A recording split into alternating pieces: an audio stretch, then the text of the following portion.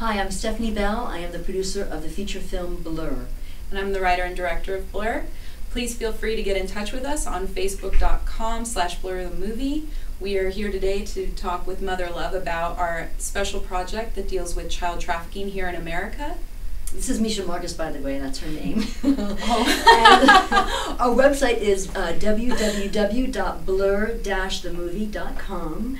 And it's a very important subject matter. It's it's a very deep and um, hard subject matter, but it's something that needs to be talked about and needs to be brought to the attention of the American public.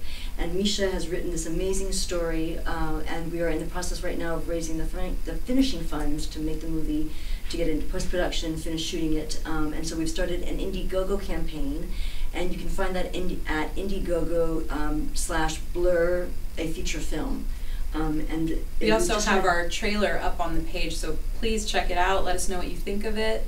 Yeah, we'd love to get your feedback. Also, if you know of anybody that's been affected by this subject matter, please reach out to us and let us know that on Facebook. Uh, we are trying to reach out to as many people as we can. We're looking to build a, um, a group of people to help us to spread the word about this and make it more uh, of a national subject matter, something to start a conversation about, and we need your help to have that, to make that happen. Absolutely. And we had the most incredible conversation with Mother Love today, and we thank her so much and Kennedy for bringing us onto the show. Thank you so much, Mother Love.